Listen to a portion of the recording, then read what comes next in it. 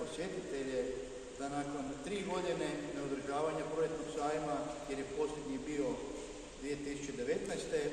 možemo reći da smo priredili sajam kao u stara dobra vremena, sajam poljoprivrede, gospodarstva, obrtništva, sajam opreme za kulturu, sajam građevinske komunalne opreme i u sklopu toga svega je Međunarodni pčelarski sajam.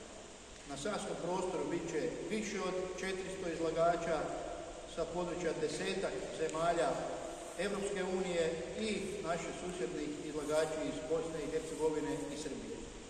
Dakle, jedna manifestacija na savskom prostoru, na cjelokupnom savskom prostoru, izložba se odvija na oko 8-9 tisuća, 8-9 hektara, dakle 80-90 tisuća kvadratnih metara, otvorenog, zatvorenog prostora i za naše posjetitelje osigurali smo 3 hektara parkiraličkog prostora i prijevoz autobusima iz pravca Bjelovara za Gudovački sajam, znači subotu i nedjelju, svaki pun sat od 9 ujutro do, do 18 popodne voze autobusi u pravcu sajma, a svaki pola sata, dakle pola 10 pa do, pa do 18.30 povratak nazad za Bjelovar, dakle svaki sat vremena, tako da oni koji su iz grada, bolje da dođu prijevozom, e, ulaze odmah na glavni ulaz i oni koji dođu možda autobusom ili željeznicom, odande kreće autobus.